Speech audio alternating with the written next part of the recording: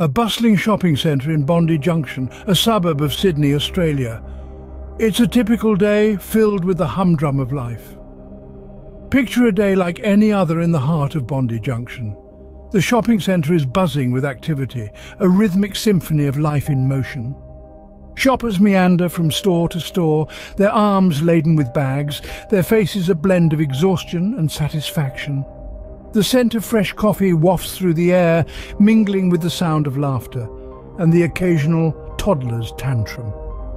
It's midday. The sun is shining brightly overhead, casting long shadows that dance on the tiled floor of the shopping centre. The food court is alive with the clatter of cutlery and the murmur of conversation, as families and friends gather to share a meal, a moment, a memory. Elsewhere, a mother coaxes her child into trying on a new pair of shoes. A young couple gazes longingly at the window display of a jewellery store. An old man takes a breather on a bench, watching the world go by. It's a scene of everyday normalcy, of life unfolding in its most mundane and beautiful ways. But as the clock ticks on, the atmosphere begins to shift subtly. There's a ripple in the air, a sense of unease that's hard to place. The laughter sounds a bit hollow, the conversations a bit strained.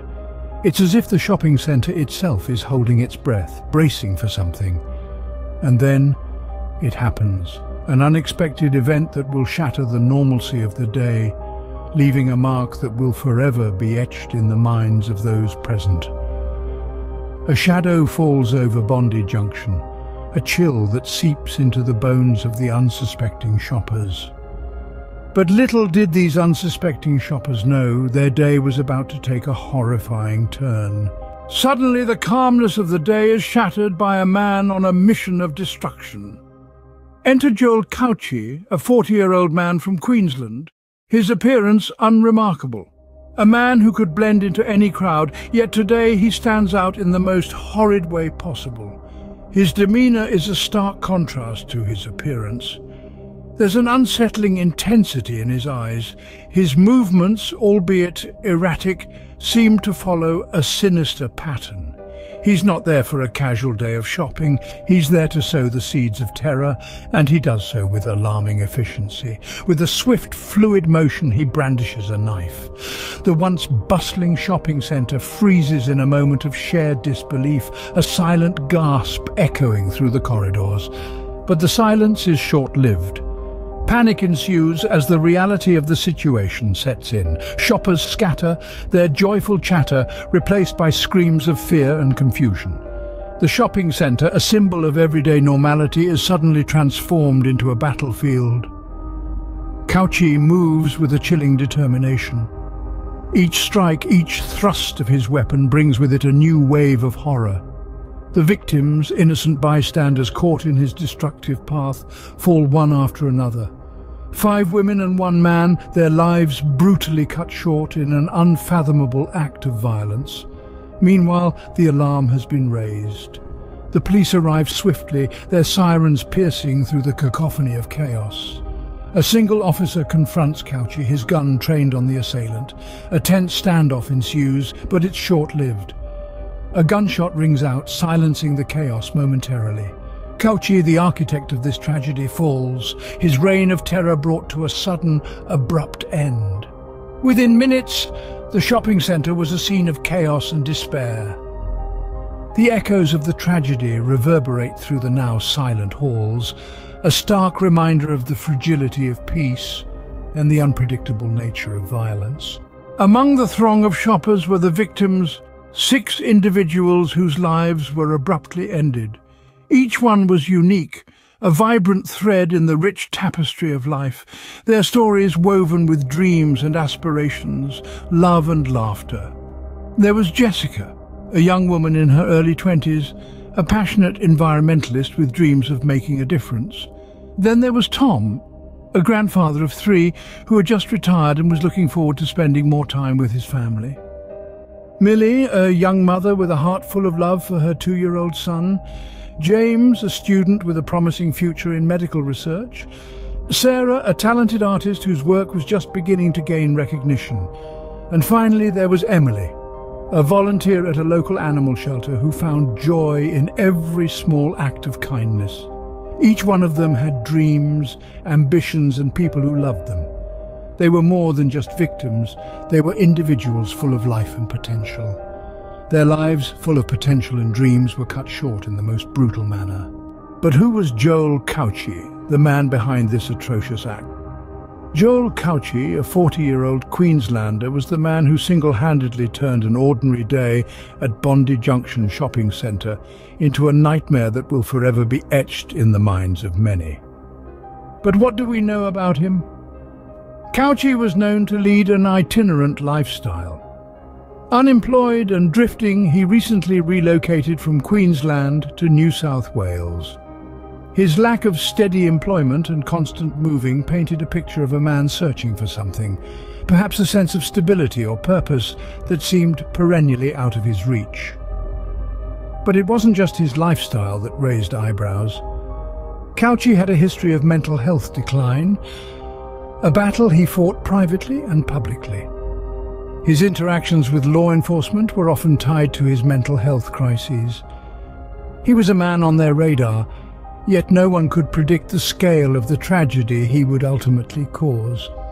Despite his struggles, Cauchi had interests like any other individual.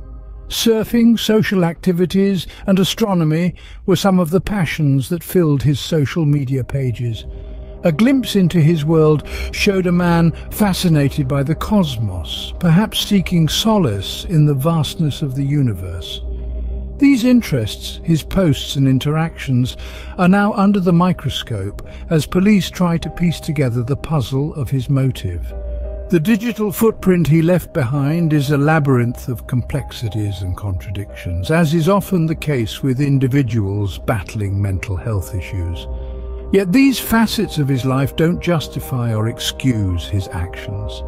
They are mere fragments of a larger picture, a picture of a man whose life was marred by mental health issues and who chose to inflict his inner turmoil onto innocent lives. A man battling demons of his own, his actions resulted in an unimaginable tragedy. The aftermath of the incident was a scene of shock, grief and a desperate search for answers. A devastating silence fell over the Bondi Junction shopping centre the echoes of the tragedy still palpable in the air. The immediate response was swift and thorough, with law enforcement and emergency services launching into action. The investigation process was meticulous, each detail scrutinized in an attempt to piece together the puzzle of the horrifying event.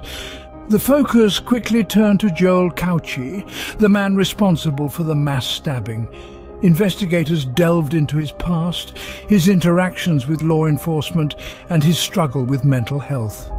They examined his itinerant lifestyle, his unemployment and his interests in surfing, social activities and astronomy.